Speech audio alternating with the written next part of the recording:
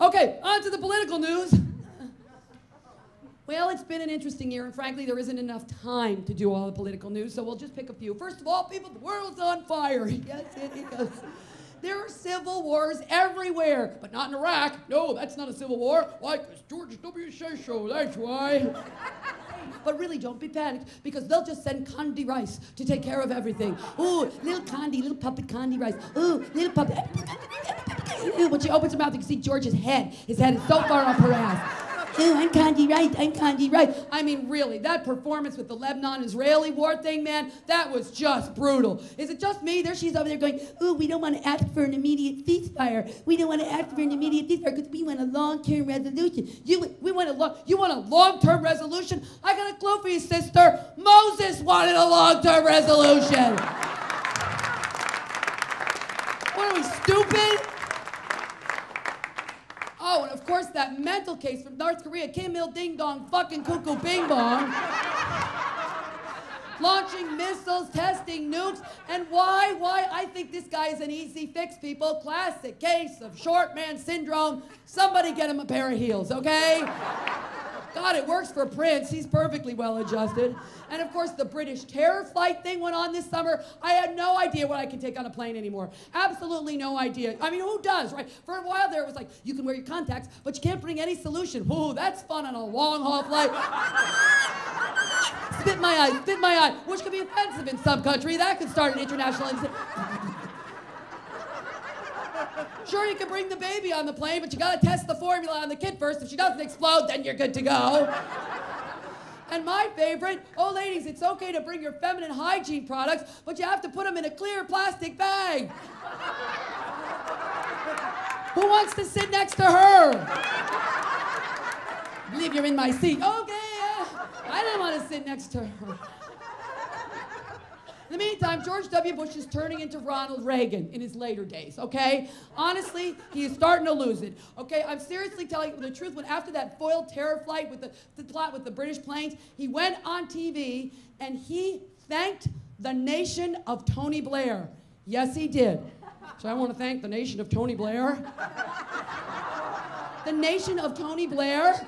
I've always wanted to go to the nation of Tony Blair, but I've never gotten any further than the province of Linda. I,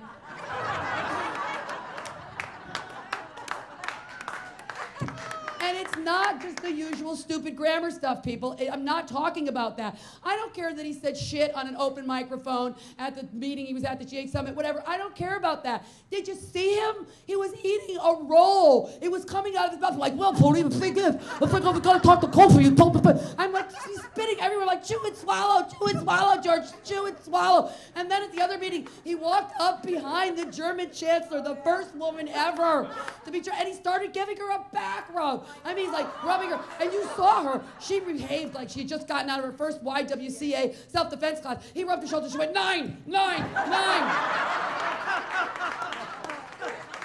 And he went and sat down like, what, what was it me? You watch that on YouTube. She turns to the guy next to her, and the guy next to her goes like this and points at George.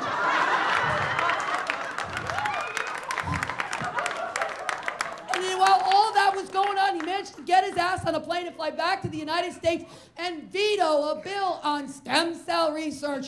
Because, oh, people, oh, you don't know. You've never heard those stem cells scream when you put them in a pot of water. Oh.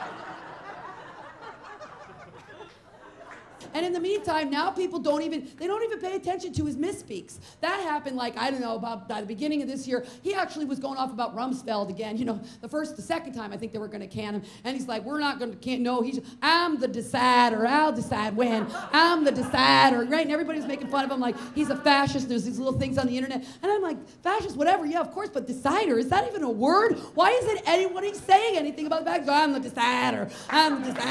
decider.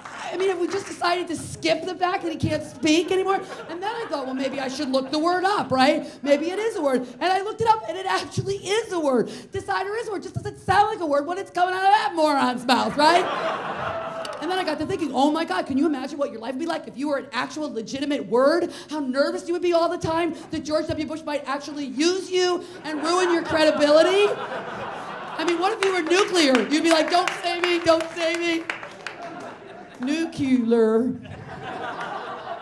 And of course, the big thing he did this year to really dis- try to distract all of the Americans from the immigration debate. He started the immigration debate, or as I like to call it, the don't look at that Iraq behind the curtain debate, okay?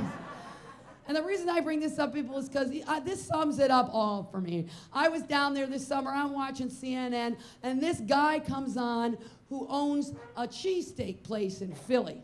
And I don't know if you read about this, but he actually put a sign in his window that said he wouldn't wait on you if you didn't speak English, okay? Of course, the sign was in English.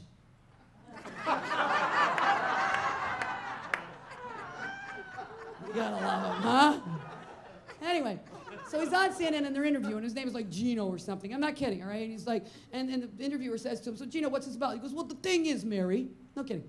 Because the thing is, if the customer comes up to the window and wants to order a sandwich, they gotta speak English. Capiche? I'm like, These are my people. Um,